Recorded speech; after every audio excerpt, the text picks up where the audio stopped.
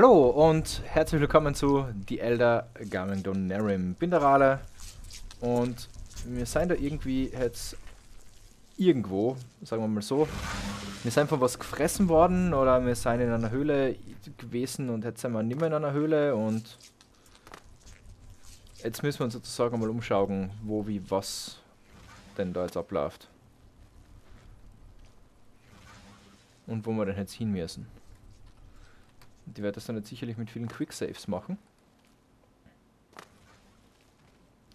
Yep, das war mir irgendwie klar. Deswegen habe ich jetzt hinten davor einen Quicksave gemacht. Das heißt, ich darf nicht in irgendeiner Weise in so komische Suppe reinlaufen. Was wahrscheinlich einfach Magensäure ist und deswegen...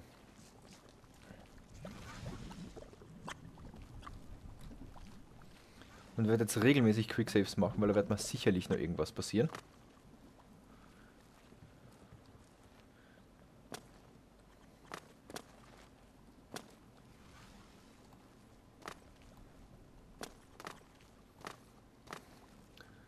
Und holy shit, was hat mich da gefressen?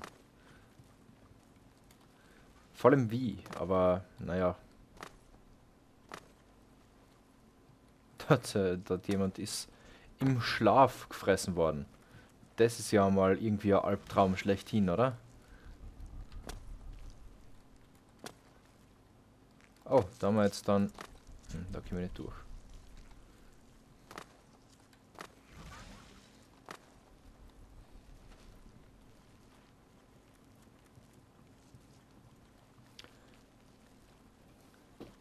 Also ich würde mal drauf tippen, dass mir Wurm gegessen hat. Oder welche Art Wurm ist dann eher die Frage.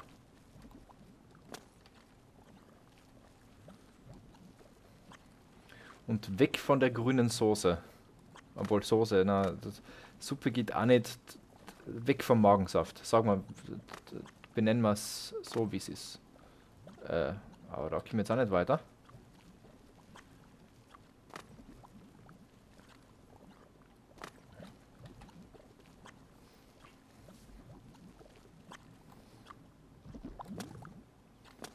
Ich frage mich da dann auch gerade, wie soll ich dann jetzt, ähm, komm schon, geh da auf. Wie soll ich dann jetzt äh, weiterfinden? Ah, habe ich da eine lokale Map? Ja. Die ich bis jetzt ziemlich gut erkundet habe. Nur da hinten wird es halt irgendwo weitergehen.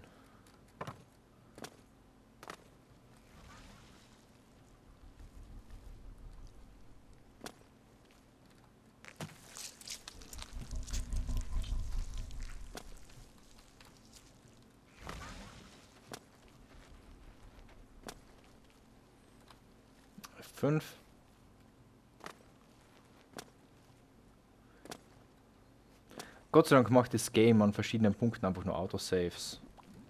Da springen wir über die Pfütze drüber. Da springen wir über die nächste Pfütze drüber. Wieder ein Quick Save.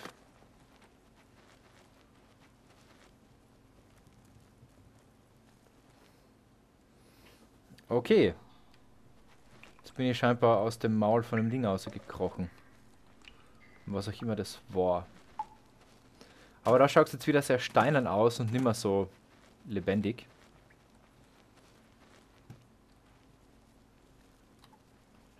So, nochmal Quick Save.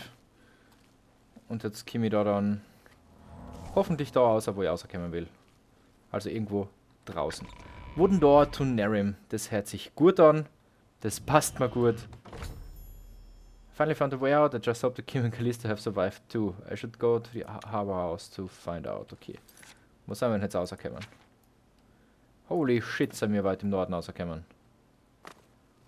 Naja. Eingepackt, quick gesaved und dann tippeln wir mal wieder ab in den Süden. Ab in den... Na, besser nicht. Ohrwurm von... Boah, von wann eigentlich? Das muss irgendwann einmal nach 2000 gewesen sein.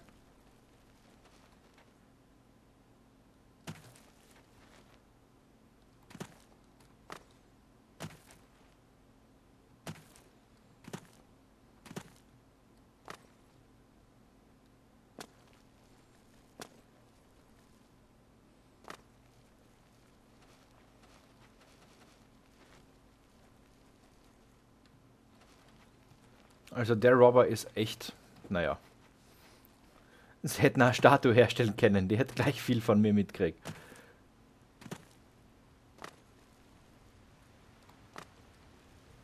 Die North Plain, okay. Uh. Na, das ist eine schlechte Idee. Ich gemeint, da unten wäre jetzt ein dicker Fluss, wo ich landen kann, aber na, da sehe ich nur ein steiniges, enges Bächlein. Also wieder Statue. Und da geht es wieder weiter nach unten. Also da wir bis, bis zum Hafen müssen, denke ich mal, ist es eh nicht so schlimm, wenn ich da dann einfach weiter oben gehe. Denn ich muss ja ans Wasser. Aber ich glaube, ich sollte da irgendwo in der Nähe von dem Weg bleiben, wo ich hin muss. Denn ich muss da um.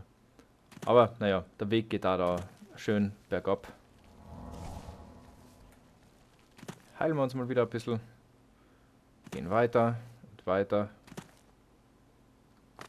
Aber wenn die jetzt da uns in der Küche erfasst haben, dann waren sie ja doof, wenn sie das Essen essen, oder?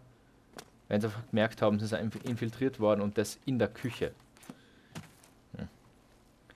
Die Logik von, von manchen NPCs ist dann wieder doch unbestreitbar. Machen wir wieder ein Quick Save. Ich renne, glaube ich, so an ziemlich allem vorbei, was man irgendwas anhaben könnte. Weil's, weil ich es nicht sehe und das andere Zeug sieht mir aber auch nicht. Das böse Zeug. Da gibt es irgendeine Proclamation. So. Mittlerweile sollten wir dann bald äh, ja, beim Haus am Hafen sein.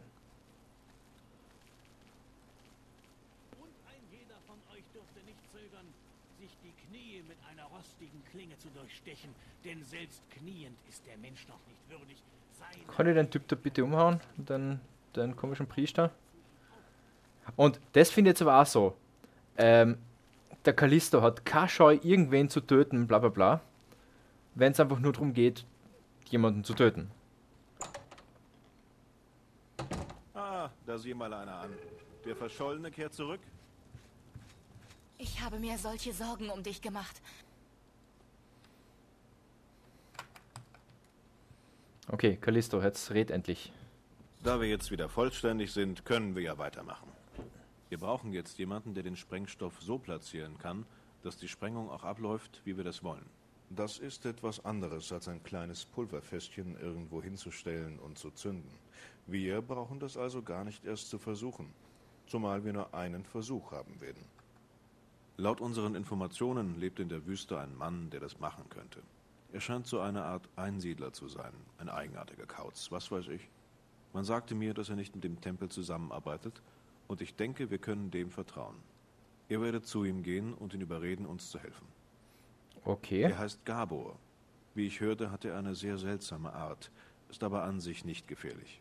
Passt aber trotzdem auf, bei Verrückten kann man nie wissen. Fakt ist jedenfalls, dass wir ihn unbedingt brauchen, also tut alles, damit er sich uns anschließt.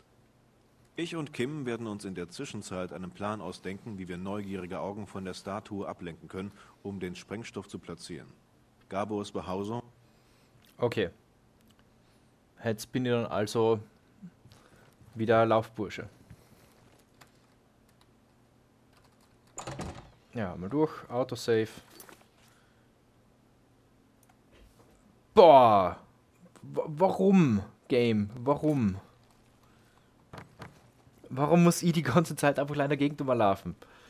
Das, das gibt's einfach nicht. Oh, dieses Nordreich. Ja, ja, okay.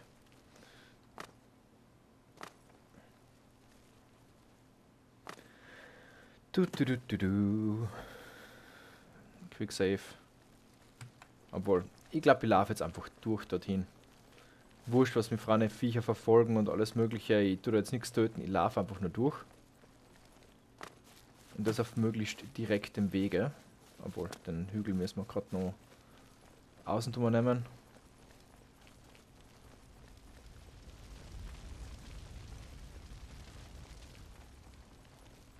Hallo Spinne. Ciao Spinne. Gott sei Dank bin ich schnell genug für so einen Blödsinn. Das ist leider nur die Frage, geht es vielleicht nur schneller, wenn ich äh, ja, shiften tue? Ah, da mal wieder so, so Lack.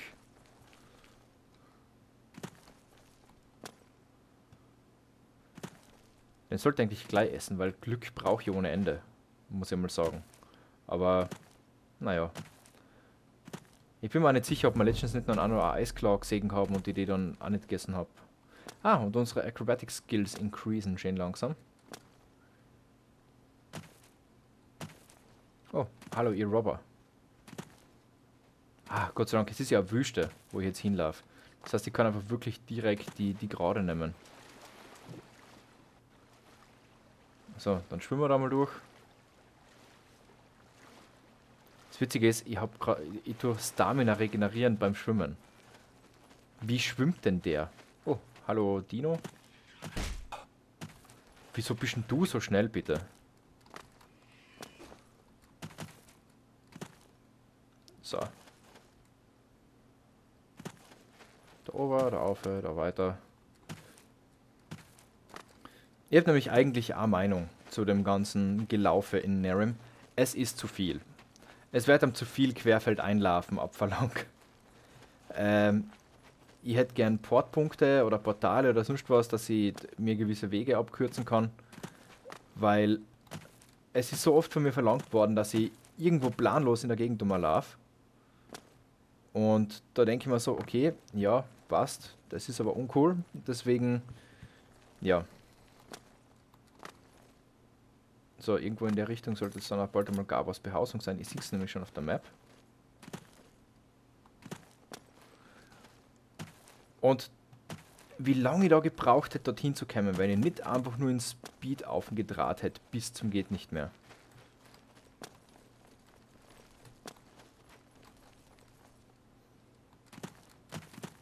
Und wenn die Mechanics von Hügeln und so weiter da nicht completely broken waren in den Games, aber Na, okay.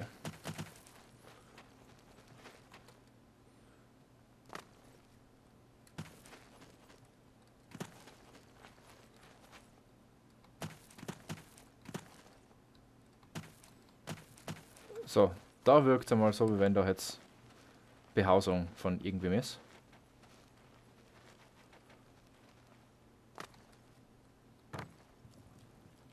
Das Holzding ist mal suspicious. Hallo?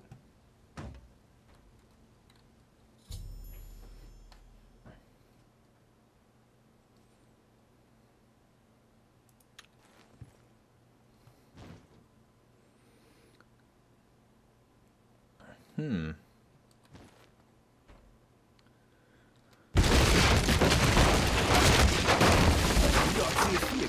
Zum Kreuzer Kremierend noch eins.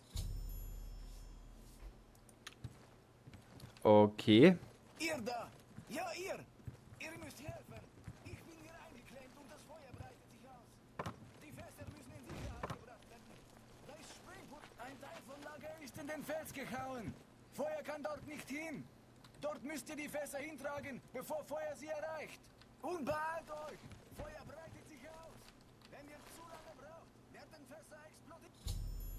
I arrived just in time. The blaster set the storage room on fire. I need to move all the explosive barrels in here to safe place. The fire won't reach the part of the storage that is carved in stone. This is where I have to put the barrels. I should take care of the barrels in the back part of the storage first. Ja. Also kurz gesagt, äh, die? Ups.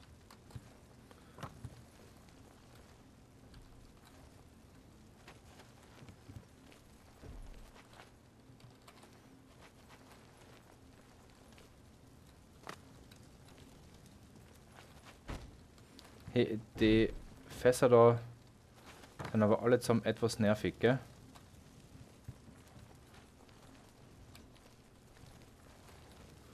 Gott sei Dank sagen wir an, dass zumindest jetzt mal alle vor mir sein, alle Fässer.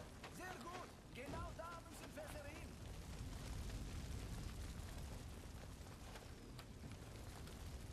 Weiter, immer weiter. Alle Fässer müssen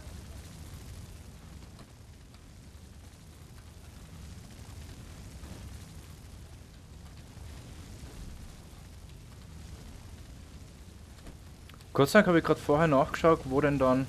Wow, da noch ein paar. Nein. Nein. Das kommt schon her da. Verdammte Tragmechanik da.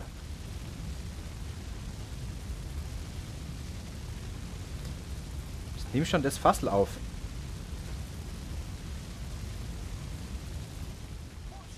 Ihr habt es geschafft. Nun müsst ihr mich noch befreien. Einer Stange oder so etwas, damit ihr die Trümmer wegstimmen könnt. I found an iron rod.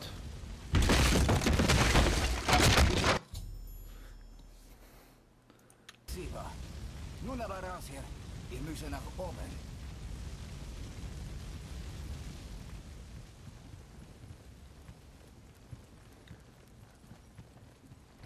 Okay.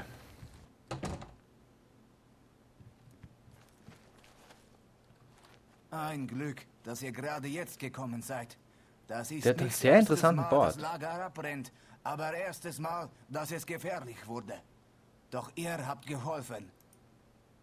Oh, das hätte ich nicht erwartet.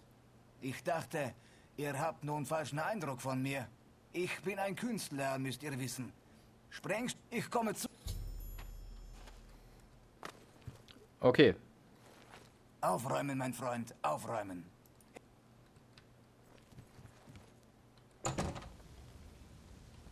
Ich, ich muss da noch die, die Retorte klauen. Der ist mir nämlich zu sehr ins Auge gesprungen. Weil so die Expert-Sachen sind generell, uh, Bone Meal. Da haben wir ein bisschen Honig, da haben wir glaube ich ein bisschen Ginseng, oder? Nein, Mandrake rot. Ah, da dahinter ist aber noch Ginseng. Da haben wir noch 4 Gold. Shovel, anderes Zeug. Ja, jetzt, jetzt flüchten wir auch. Ähm, und jetzt liest ich nochmal schnell, was mir dann das Ding. Agree to help us, I must report Kim and Callisto immediately. Okay. Und der kommt dann einfach hinterher. Und dafür habe ich jetzt den ewig langen Weg da gemacht, dass ich mich da kurz stressen kann. Aber Quick Save und wieder auf die Map. Ja, und die gehen einfach wieder die Gerade durch. Ich schwimme dann wieder durchs Wasser, renne an die Banditen vorbei, tue so ein bisschen mitlocken. Oh, die mal scheinbar bis dahin nachgelaufen sein. Oder na, da sind eigene Banditen. Erst erwischt es mich eh nicht. Das könnt ihr es lassen.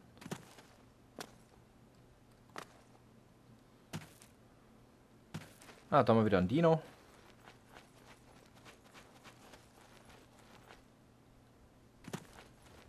Ah, da sind jetzt noch die Fire Antronachs, die man davor gesehen hat. Die könnten vielleicht ein bisschen wehtun.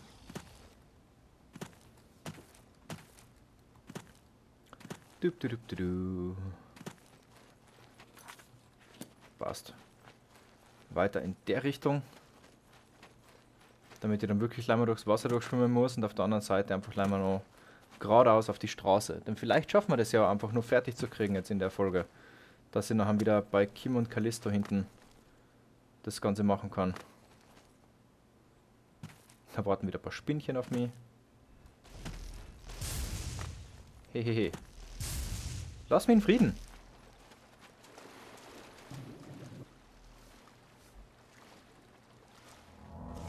So, heilen wir uns mal wieder. Da sind die Banditen von vorher.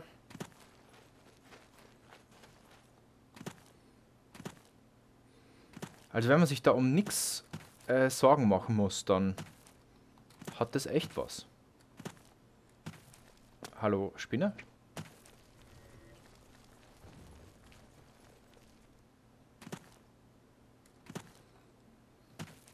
So, und was ich jetzt noch mache, was ich davor eben nicht getan habe, ich schleiche nochmal eine Runde.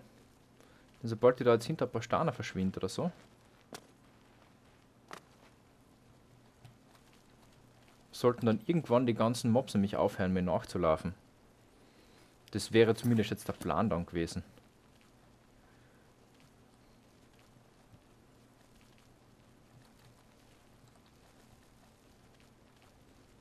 Naja, no scheinen sie mich zu sägen über keine Ahnung was für eine Distanz, aber es wird schon passen.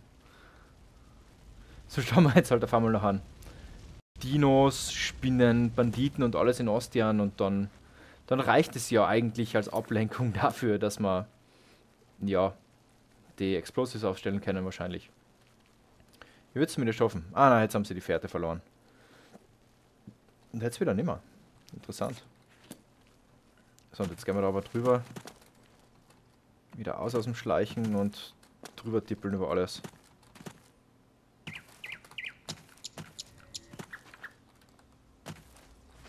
Was bist denn du? Ah, die Spinne ist mir immer noch nachgegangen. Oh, hallo Dino. Hat sich der da gerade hergeportet?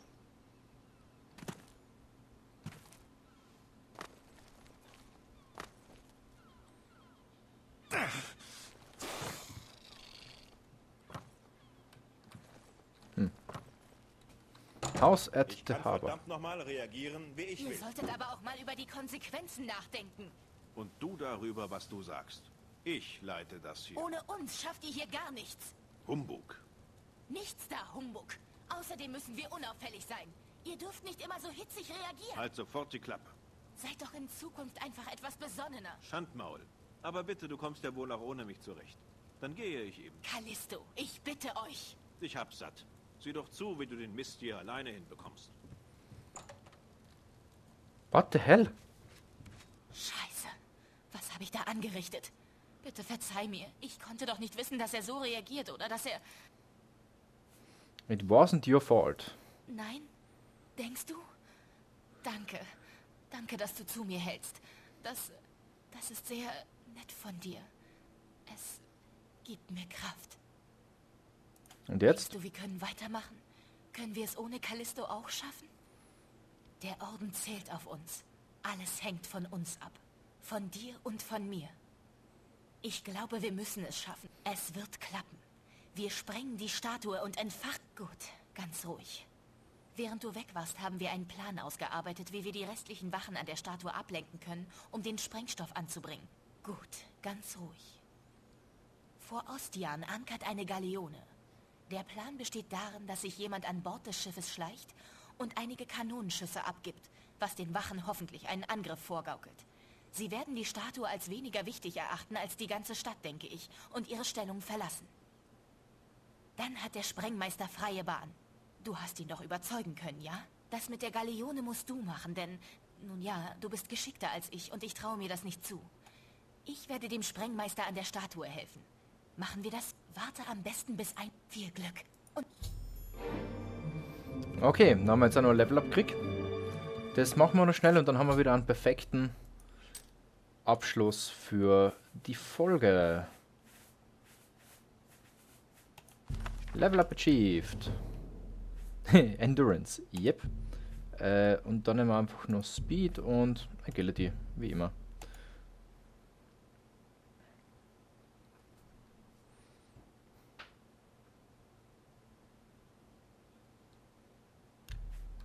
So, passt. Dann machen wir unseren Save. Danke fürs Zuschauen. Bis zum nächsten Mal und das war's wieder von Enkamrale. Ciao, ciao.